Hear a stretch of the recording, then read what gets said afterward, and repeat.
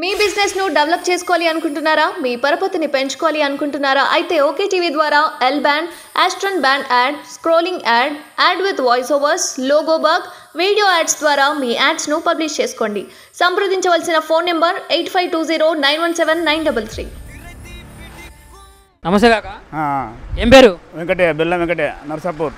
పుట్టి పెరిగింది మొత్తం ఎక్కడ? నర్సాపూర్ గ్రామము త- మండలం తరిగొప్పల ఆ, జనగామ నియోజకవర్గం మాది. ఉమ్మడి వరంగల్ జిల్లా నుంచి వచ్చారా?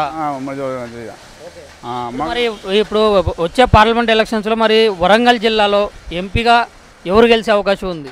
ఆల్రెడీ కామం మలేషియం గెలిచే అవకాశం ఉన్నది బీఆర్ఎస్ఏ. బీఆర్ఎస్ మంచి పని చేసింది కేసీఆర్ మంచి పని చేసింది కాబట్టి ఖచ్చితంగా కామం మలేషియం వస్తాడు.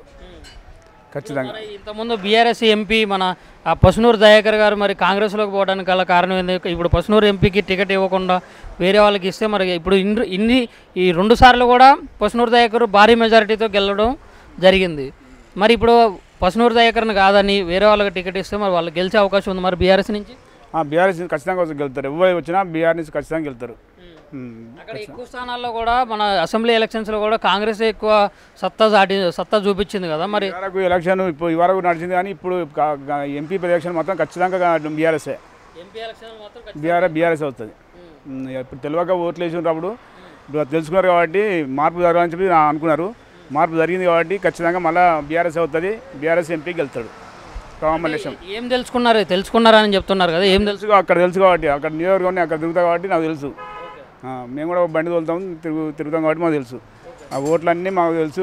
ఇవరకు ఎందుకంటే మన సంగతి చూద్దాం. కాంగ్రెస్ ఎట్లుంటుందని చూద్దాం అనే మార్పు అనే ఆలోచించారు కానీ ఇప్పుడు ఖచ్చితంగా మళ్ళీ వచ్చే ఐదేళ్ళలో కూడా మళ్ళీ బీఆర్ఎస్ అవుతుంది ఇప్పుడు అట్లా కాదు. ఇప్పుడు వంద రోజుల నుంచి చూస్తున్నారు కదా మరి అసలు మీకు ఎట్లా అనిపిస్తుంది కాంగ్రెస్ ప్రభుత్వం? ఏం చేసిండు ఆయన? ఆరు గ్యారెంట్లు అన్నాడు. ఆరు గ్యారెంట్లు కూడా ఏం చేసిండు? ఒకటి ప్రీ బస్ పెట్టిండు ప్రీ వేస్ట్ డే అది అందరు లొల్లి పెట్టుకున్నారు లొల్లి అవుతుంది. వేస్ట్ అది. ఇప్పుడు మీరు చేస్తాము ఇప్పుడు పార్లమెంట్ ఎలక్షన్స్ అయిపోగానే మేము అన్నీ చేస్తామని అంటున్నారు. మీకు నమ్మకం ఉందా? కాంగ్రెస్ ప్రభుత్వం చేస్తారని? కాంగ్రెస్ ప్రభుత్వం చెయ్యది. ఖచ్చితంగా మన బీఆర్ఎస్ వస్తేనే బీఆర్ఎస్ చేస్తుంది. బీఆర్ఎస్ చేసిన పనులే ఉన్నాయి. మాటలు చెప్పి అధికారంలోకి వచ్చింది కానీ కాంగ్రెస్ ప్రభుత్వంతో ఏం ఏం కాదు పనులు ఏం కావు. ఆల్రెడీ మార్పు చూడాలని చూసారు జన- మార్పు ఆల్రెడీ వంద రోజులనే మార్పు తెలి- తెలిసిపోయింది. తెలిసి వంద రోజులలో ఏం తెలుసు? వాళ్ళకి కొంచెం టైం ఇచ్చి చూడాలి కదా. ఏం చేయలేదు వాళ్ళు. ఈ వంద రోజులలో కూడా ఏం పనులు చేయలే. కేసీఆర్ చెప్తుండే కదా ఇప్పుడు వచ్చిన మూడు నాలుగు నెలలకి అనడం కరెక్ట్ కాదు. వాళ్ళకి టైం ఇచ్చి చూడాలి వాళ్ళు ఏం చేస్తారు ఏందనేది మనం ఓపికతో చూడాలని చెప్పేసి కేసీఆర్ చెప్తున్నారు. ఏం చూసినా మళ్ళీ ఐదు సంవత్సరాలకైనా ఖచ్చితంగా బీఆర్ఎస్ అవుతుంది పార్లమెంట్ ఎలక్షన్లో కూడా మన బీఆర్ఎస్ నుంచే వస్తారన్నారు. బీఆర్ఎస్ వస్తుంది ఖచ్చితంగా.